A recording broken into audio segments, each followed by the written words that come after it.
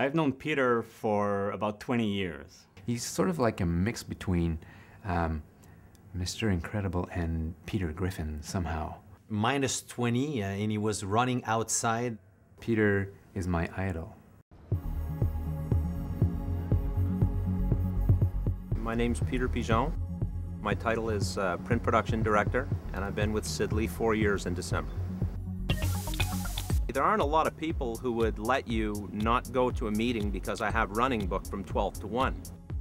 Everybody just accepts it, you know, and, uh, and encourages it, and that's a pretty cool thing. Sid Lee installed a shower, uh, so what was cool was having the shower here at Sid Lee. It took away all my excuses. You know, the dedication of Peter uh, to running is quite, uh, quite amazing. He's booked three times a week for the jogging thing, and I don't think that anything could come between him and that. That consistency of running, I think it just reinforces consistency you have elsewhere in your life.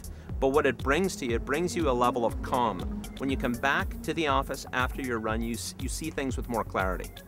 What we do can be really stressful. You know, we have tight deadlines and everything. In my opinion, if you don't bring your A game to work with you, someone's going to let you know.